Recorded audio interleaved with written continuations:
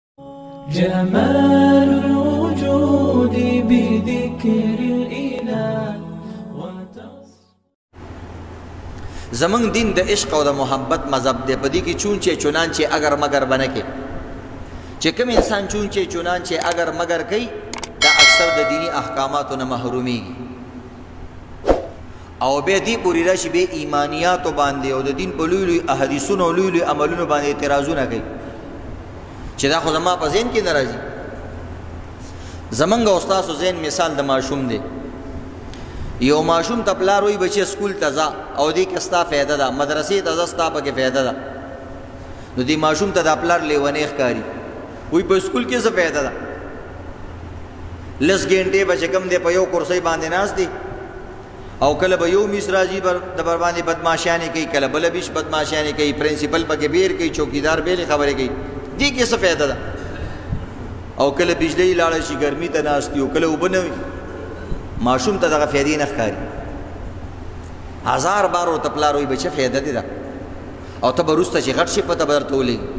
هغه ما باندې اوس د تکلیف دی او تروسته فائدو راغسته روسته بس فائدې نو دغه رنګ عزتمند د شریعت احکامات کله نا کله داغي هغه فائدې مونږ ته نخ کاری یا مونږ په هغه فائدو نه پویو نو مونږ وایو په دې کې څه فائدہ ده او به چې کله الګ غټ شي او کم ماشوم ته چپلار وي بس ټیک ده بچي چې فائدہ پکې نشته بس سکول پرې ده او راځه بس په کوسو کې اډو کې ټولوا ا خوشاله شي ویلکه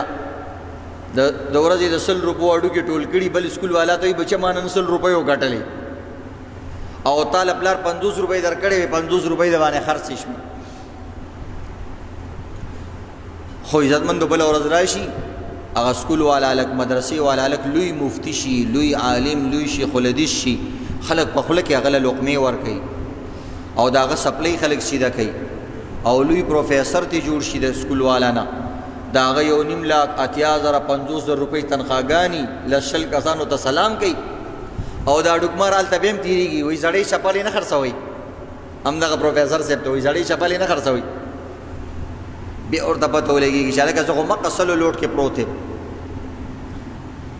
نو دی وجه نه دار ته دی آسان مثالونه ته دی لپاره هم دي کې الکان هم نسی کې د دین په یو خبره مونږ پوی نشو